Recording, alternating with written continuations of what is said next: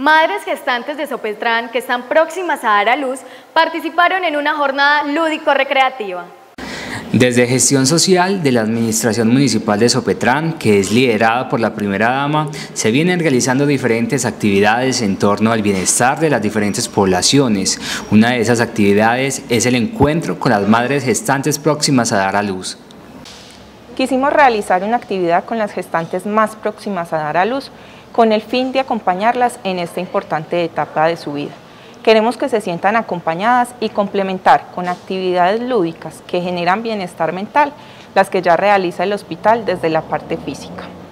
Además de esto, gestionamos la donación de unos ajuares que fueron entregadas para sus bebés, el grupo Tejiendo Ilusiones, que lo integran personas adultas mayores, trabajan constantemente durante el año en diferentes actividades donde recolectan fondos para los ajuares que entregan a final de año a las gestantes.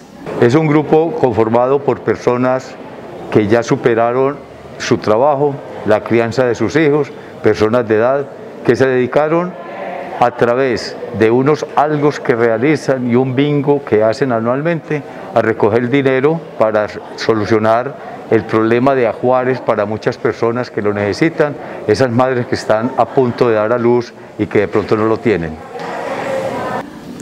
El costurero que viene realizando esta labor años atrás se vinculó este año con la administración municipal para realizar estas actividades lúdicas y recreativas con las madres, donde además entregan ajuares a esos pequeños próximos a nacer.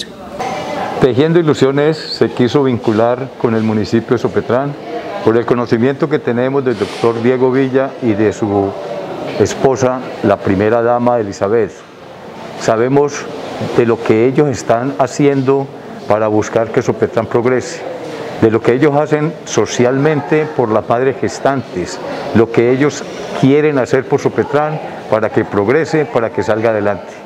Con esta actividad dirigida a las gestantes próximas a dar a luz, se lleva desde gestión social, bienestar, que contribuye a mejorar su calidad de vida. Desde el municipio de Sopetrán informó para Teleregión Noticias John Mario Villa.